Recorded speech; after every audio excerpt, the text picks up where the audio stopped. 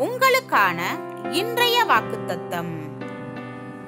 உமக்கு வாய்க்கும் கர்த்தர் அதை ராஜாவின் கையில் ஒப்புக்கொடுப்பார் என்றார்கள்.